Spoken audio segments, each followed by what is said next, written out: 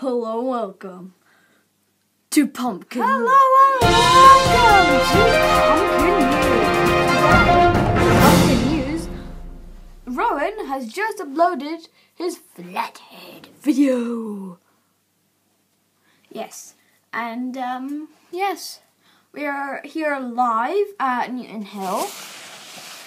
Please don't tell me you guys are pe- pedophiles, because then I'll kill you. Until you try and come here. But anyway, yes. Well, over to you, Rowan, for the weather.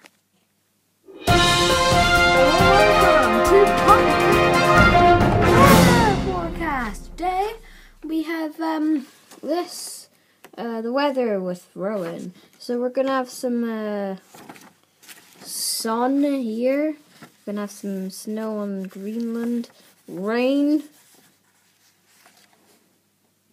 Well, we don't even have to guess where that is. It's probably Britain. Um, and then we've got some we've got some snow in the Highlands and some sun.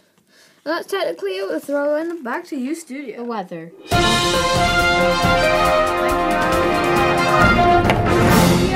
Um, in other news, um, deodorant cans have been getting a bit smaller late recently, and when they're smaller, they actually smell nice. Oh, but they make you cough. Well, that's it for me. I hope you tune in for the next update at 6 p.m. Bye. See you all next time.